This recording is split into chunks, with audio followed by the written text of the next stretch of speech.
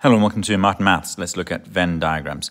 Say we have 30 students in a class, 10 play football, 12 play tennis, and 4 play both. I'm going to represent that in a Venn diagram. So draw a big rectangle for the universal set, which is now 30, and 10 play football, I'll put in that circle, 12 play tennis, I'll put in that circle, but I'm going to start with the intersection, the overlap. So I'm going to put the 4 there, meaning the tennis is now going to be 12 minus 4, and the football is going to be 10 minus 4. That goes there.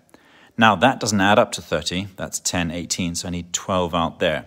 Now, what about the probability of them not playing either football or tennis? Well, that's the 12 out of 30. What about the probability of them playing football or tennis, but not both? Well, that'll be the 6 plus plus 8, 14 out of 30.